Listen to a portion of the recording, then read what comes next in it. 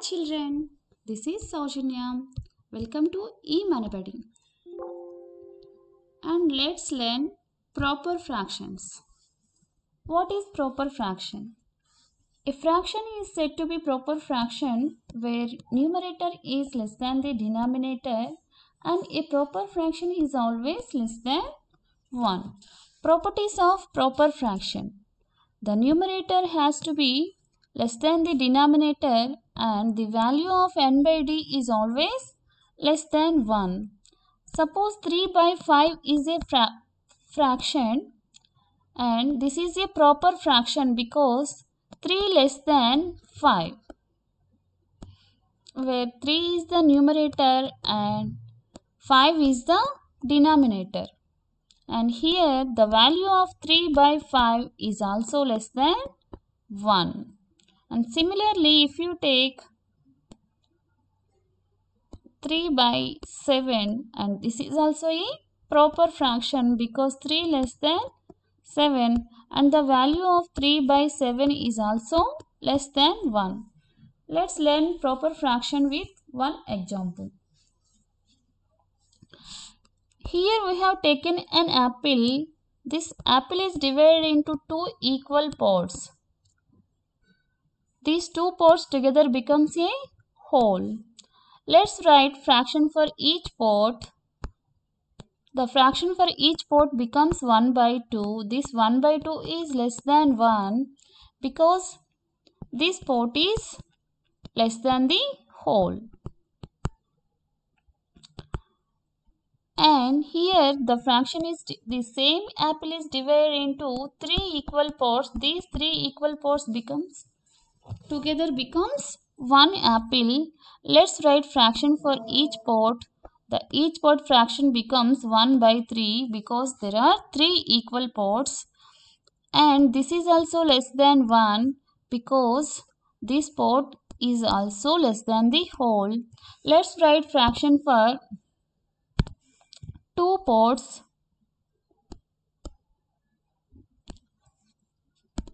The fraction for 2 parts becomes out of 3 equal parts. We are considering 3 parts. 2 by 3 is less than the 1 because these two parts also not equal to 1 whole. And let's write fraction for each part of these 4 parts. The fraction for each part becomes 1 by 4 and this is also less than 1 because this part is less than the whole. Let's write fraction for 2 parts. The fraction becomes 2 by 4 because out of 4 parts we are considering 2 parts and this 2 by 4 is also less than 1 because these two parts are also not equal to 1 whole. And let's write fraction for 3 parts.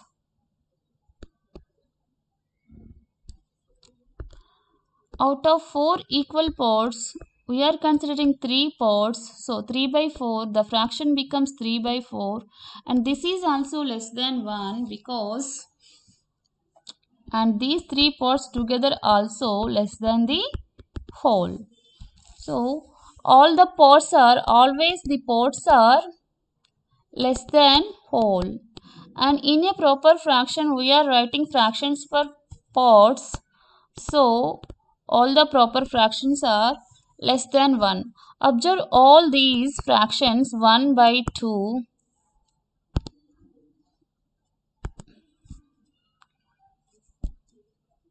and 1 by 3 and 2 by 3 and 1 by 4 and 2 by 4 and 3 by 4. Observe all these fractions. In all these fractions, the denominators are greater than the numerator. That means n is less than d.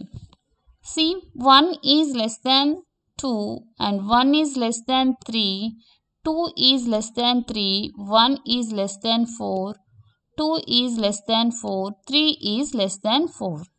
So, all these are proper fractions and all the proper fractions are less than 1. All the proper fractions are less than 1. Let's see some problems regarding proper fractions. Here, whose numerator is 5 and denominator is 7.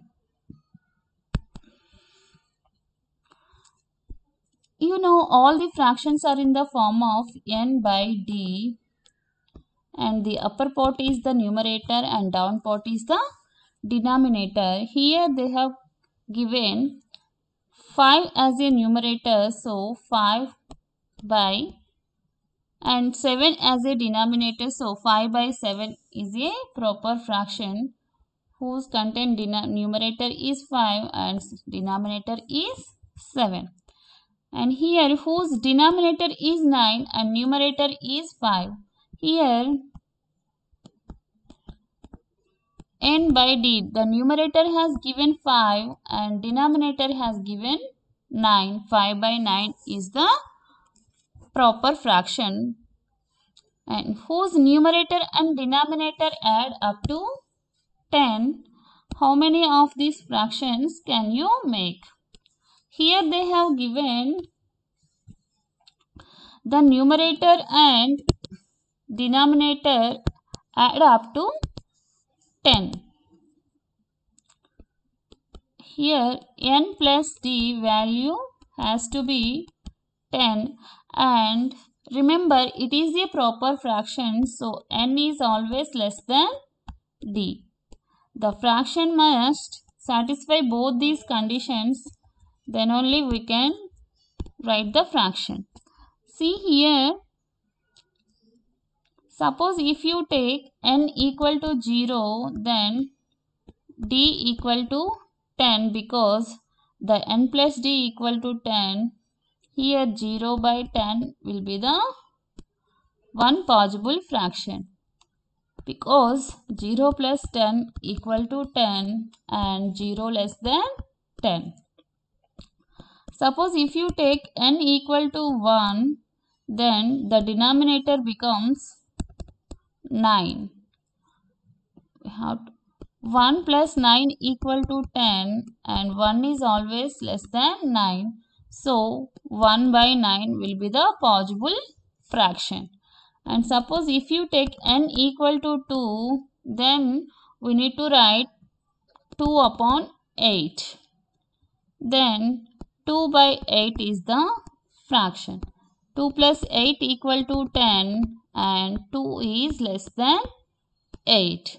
Suppose if you take n equal to 3 then we need to write 3 upon 7. 3 by 7. 3 upon 7. And here 3 plus 7 equal to 10 and 3 is less than 7. And suppose if you take n equal to 4, d has to be 6. And we need to write 4 upon 6. And this 4 plus 6 equal to 10 and 4 is less than 6. And suppose if you take n equal to 5, then d must be 5. Suppose if you write 5 by 5, 5 plus 5 equal to 10 but 5 is 5 equal to 5 5 is not less than 5 so we can't write 5 by 5 so till now we have written 0 by 10 and 1 by 9 2 by 8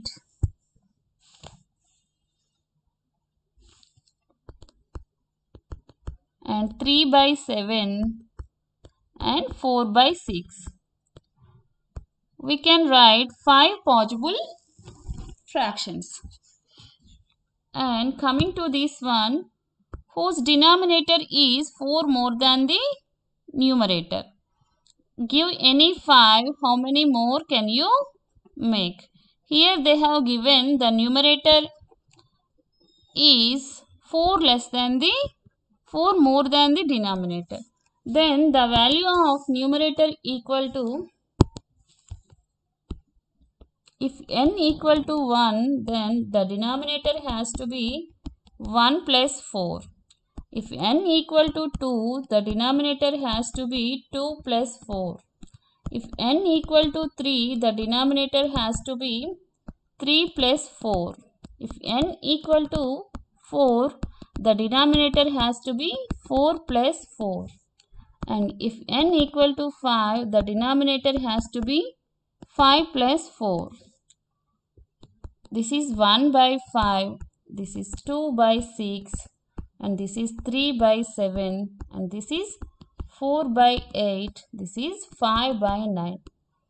We have written 5 possible fraction and we can also can return number of possible fractions because there are so many numbers up to infinity we can write any number of fractions like this and coming to next one, a fraction is given, how will you decide by just looking at it? Whether the fraction is less than 1 or equal to 1. You know already a proper fraction is always less than 1. So first we need to check whether the fraction is whether the fraction is less than 1 or whether the fraction is proper fraction or not. Proper fraction or not. And to conclude that the proper fraction, the fraction is a proper fraction, here the numerator has to be less than denominator. So we need to check all these conditions. The if the numerator of the fraction is less than the denominator, then we can conclude it is a proper fraction and it is less than 1. So, to conclude the fraction is less than 1, we need to check if it is a proper fraction or not. And equal to 1. If a fraction is equal to 1, then both the denominator and numerator has to be same value. d equal to n.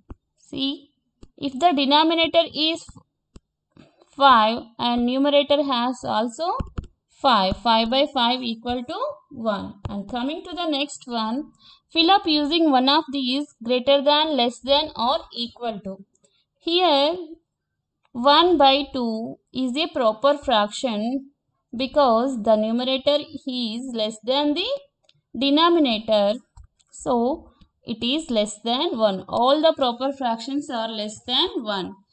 And this 3 by 5 is also less than 1 because it is a proper fraction.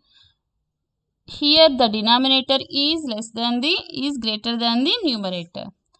And here the 7 by 8 is also a proper fraction because here the denominator is greater than the numerator and so 1 is always greater than the proper fraction. And 4 by 4. Here the numerator and denominator contains the same value. So it is equal to 1. Similarly here also the denominator and numerator contains the numerator and denominator contains the same value. So it is equal to 1. Thank you children.